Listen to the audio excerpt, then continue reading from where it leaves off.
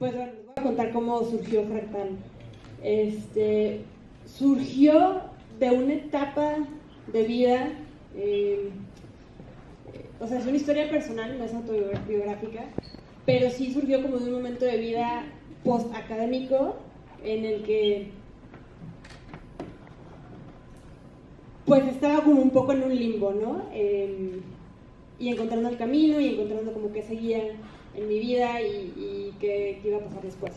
Entonces, como fractal surgió de ese sentimiento de estar justo perdido, de no saber qué hacer, ni a dónde vas, ni que con quiénes te estás juntando, pues no sabes tampoco muy bien, eh, pues sí, quiénes son. Bueno, o sea, quise plasmar este sentimiento justo en la búsqueda, eh, pues de Mónica, ¿no? O sea, la trama, el ímpetu narrativo de la película es la búsqueda de Mónica, que es una metáfora de que pues estos jóvenes están buscando a sí mismos. ¿no? O sea, no nada más es la chica que se pierde, sino son estos tres amigos que mientras la buscan se dan cuenta que pues, o sea, es un camino de, de, búsqueda interna, ¿no? Eh, entonces eso fue como un poco como, como, como, surgió la historia, que quise retratar esta juventud perdida eh, en un limbo. Así surgió la, la película, la escribí hace, hace cuatro o cinco años ya, sea, se pasa muy rápido el tiempo, porque la filmamos en el 2018. Eh, y, pues sí, o sea, fue 2018, filmamos 2018, la terminamos hace más, más o menos un año. Y pues bueno, que estamos aquí ya en el estreno comercial después de haber hecho una, una gira de, de festivales durante la pandemia. Poder estrenar este producto justo en medio de la pandemia, ¿no? Que ha sido pues todo un sub bajas de emociones desde el año pasado al presentar en festivales y que justo nos tocó que el estreno mundial iba a ser en Málaga y al no poder, bueno, ir porque justo dos días antes se declara como la pandemia mundial, entonces pues ahora poder estrenar ya en circuito comercial pues nos tiene a todos muy muy felices. La película trata de una búsqueda, la búsqueda de Mónica, pero es en realidad una búsqueda de tu propia persona. Eh, es algo que pasa mucho en los jóvenes, es más común en los jóvenes, pero es algo que no, no es eh, exclusivo de los jóvenes. ¿no? También hablamos de la crisis de los 40, de la crisis de los 70. Eh, entonces eso trata fractal. Y pues sí, fue maravilloso, una experiencia maravillosa, la filmación, toda la construcción de, la eh, preproducción. Y tan increíble que pude trabajar con Emilio, que lo conozco ya desde muchos años y que se pudo sumar al proyecto. De hecho, hasta le platiqué antes de, cuando estábamos escribiendo el guion todavía con Mariana, le había dicho que me encantaría que estuviera en el proyecto. Y bueno, conocer a Mario también fue una gran experiencia. A Ricky, ya nos hicimos grandes amigos también. Eh, la pandemia fue un obstáculo complicadísimo. El, de por sí hacer una película en México es, es complicado.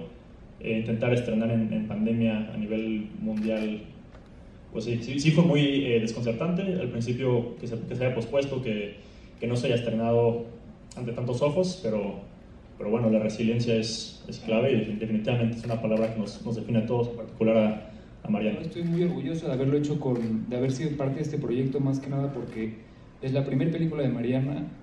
Siempre me ha gustado mucho trabajar con mujeres y se aventó un trabajar porque ella la escribe, la produce, eh, la dirige y fue muy divertido hacerlo. Igual como decía Juan Carlos, él me había contado de la película en, en el Festival de Guanajuato unos años antes y, pues fue muy divertido poder ser parte de esto y, espero que vayan al cine a verla y que la disfruten. De toda la película con estas dificultades, pero en general, bueno, el rodaje y, toda la idea que plasmó Mariana, eh, pues siempre desde el llamado uno fue muy interesante ver cómo tenía todo súper claro, cómo sabía perfectamente lo que estaba buscando y, y cómo de haber escrito el guion y haber tenido a todo el, todo el equipo formado, este, pues formó un equipo que pues todos estamos muy contentos de haber trabajado en este proyecto y ver el resultado final.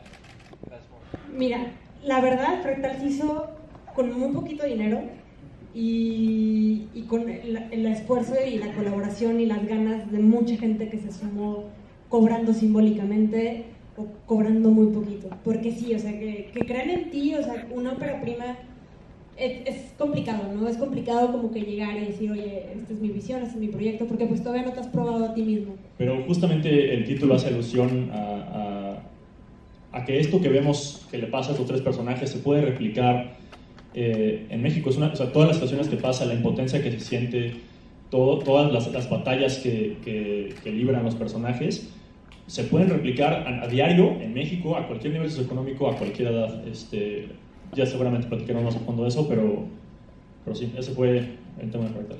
Para mí es un cuento de juventud. Y los jóvenes yo creo que tenemos este viaje de vamos a, de la inconsciencia a la conciencia. O sea, de que cuando eres joven no dimensionas peligros, no eres no estás tan involucrado en, en, la agenda pública, no estás tan involucrado como en lo que está sucediendo eh, en general como fuera de tu burbuja. Entonces es este viaje de, de estos chicos que esta mañana de domingo tuvieron esta, esta alerta, ¿no? porque realmente no les lleva a nada.